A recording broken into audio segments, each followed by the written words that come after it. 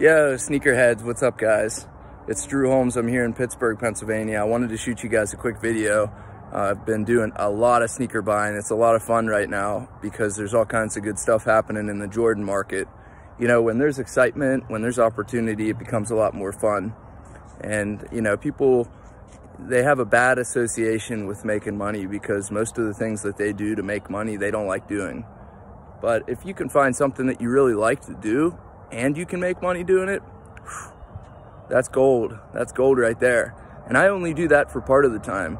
You know, half of the time I'm, I'm working on my other business, which I like, but it's not the same as sneakers. So if you guys can start while you're young, you can build a business around what you do now, uh, what you like to do and what you're interested in, your, your life is gonna be amazing. Now, most people just can't make that happen. Come on, Enzo dog's out here. Most people can't make that happen. So what do they do? They end up working a job they hate.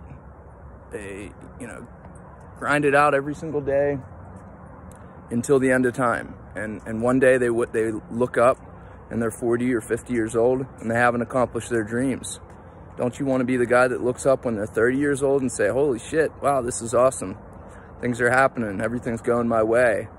I'm able to buy the sneakers I want. I got the cars that I want. I'm taking my families on vacations. I'm able to give back and help other people.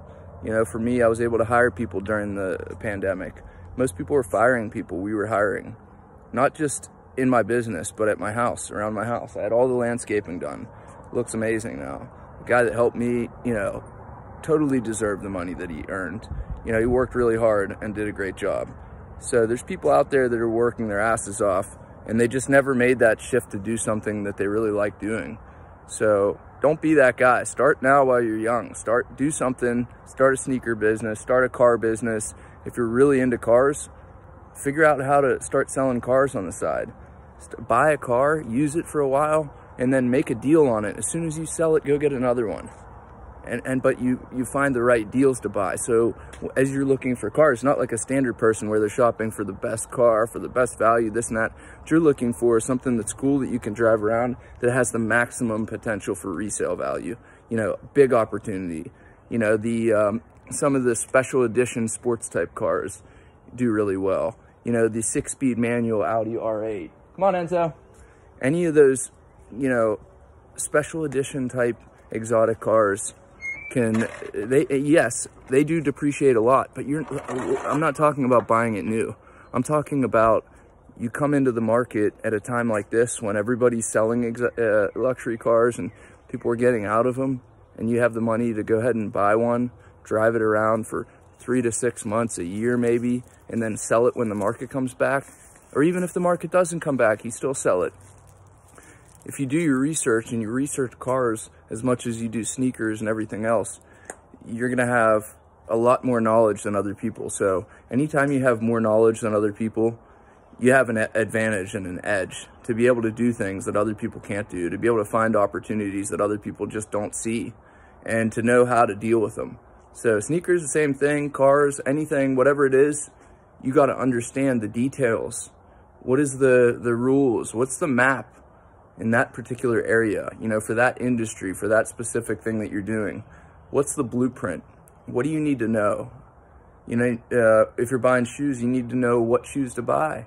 You need to know where to buy them. You need to know how to buy them.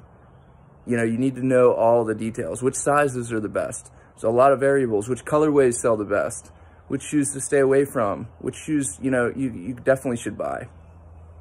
Same thing with cars, same thing with collectibles the more knowledge that you get, the better equipped you are to have success. So just remember that, guys. It's Drew Holmes again here on YouTube. Make sure to hit me up on Instagram at ShoeStockX.